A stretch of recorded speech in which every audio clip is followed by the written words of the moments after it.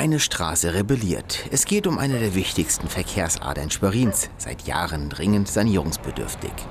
Nach einem endlosen Hin und Her entschied sich die Landeshauptstadt, die Roganer Straße endlich auf Vordermann zu bringen. Anliegerbeteiligung ist Pflicht, so will es das Gesetz. Problematisch der Kostenpunkt. Wir haben ja 23 private und drei gewerbliche Anlieger, auf die sich jetzt die Kosten, die Anliegerbeiträge praktisch verteilen. Nach der Ursprungsrechnung bin ich mit fast 100.000 dabei. Und das ist ja schon ein Betrag, den man als Rentner nicht einfach so aus der Hosentasche zieht. Ne? Im Bereich der Bornhövetstraße in Schwerin wird momentan intensiv saniert. Straßenbauabgaben? Selbstverständlich. Allerdings wird das hiesige Pflaster fast bis zu 100 Prozent von den Anliegern selbst benutzt. Wohlgerecht meinen die Zahler und Zahlen. Ganz anders in der Roganer Straße, wo der Stadt- und Fernverkehr Tag und Nacht ununterbrochen läuft. Dann ist die gesamte Straße 1,4 Kilometer lang in der Baumaßnahme. Und wir Anlieger wohnen praktisch auf einem Teil der Straße, der nur etwa ein Drittel der Baulänge ausmacht. Wir sollen aber dann für die ganze Straße aufkommen. In Rostock sieht die Situation etwas anders aus. Von den Sanierungsmaßnahmen sind hier Anliegerstraßen in der Kröpeliner Torvorstadt betroffen. Das belebte Studenten- und Szeneviertel wird auch von Touristen gerne besucht. Hausbesitzer sehen sich somit gar nicht in der Pflicht, für die gesamten Baukosten allein aufzukommen. Sehr wohl wurde aber gegen diese Bescheide auch geklagt vom Verwaltungsgericht. Leider sind ähm, diese Klagen aber letztendlich durch das Gericht abgewiesen worden. Alle Anwohner in der Roganer Straße in Schwerin sind sich einig. Der jetzige Zustand ist unzumutbar.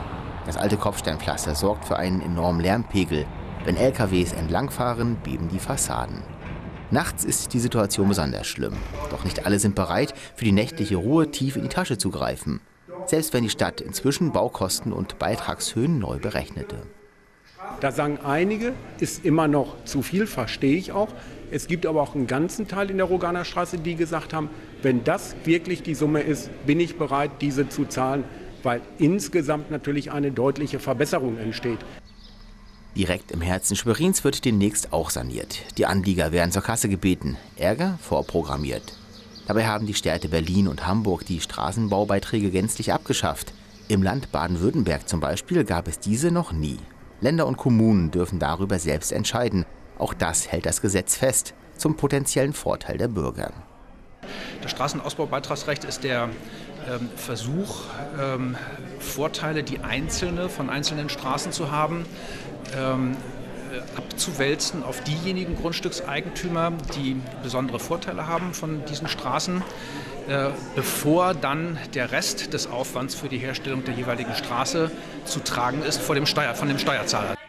Der Landtag hätte das Problem regeln können oder eher müssen, denn es brennt in Mecklenburg-Vorpommern an allen Ecken und Enden.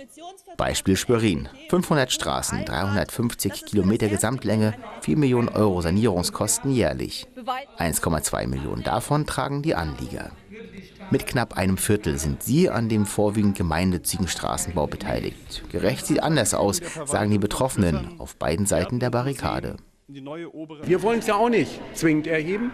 Ich wäre froh, wenn ich eine Anliegerförderung hätte und dadurch auch die Last der Grundstückseigentümer reduzieren könnte. Das ist uns aber leider nicht vergönnt. Die Anlieger aus Schwerin wollen Druck auf die Kommunalebene ausüben. Doch mehr Geld in die Stadtkasse bringt dieser Druck wohl auch nicht. Straßenbaubeiträge und Sanierungsmaßnahmen müssen gleich reduziert werden. So lautet das Fazit. Wir sind in der Lage, die Stadtvertreter zu initiieren, über die für sie von der Verwaltung vorbereiteten Beschlüsse mal nachzudenken. Und das passiert auch. Das ist in den letzten Monaten passiert. Es wird nicht mehr einfach hingenommen, abgesegnet, abgehakt, sondern die Stadtvertreter fragen auch nach. Muss das sein? Ist das so? Bis es irgendwann zu einer Kompromisslösung kommt, wird die Revolte in der Roganer Straße in Schwerin noch dauern. Wer dabei seine Ruhe haben will, muss sich selbst eine Ablenkung suchen. Möglich eine kostenlose.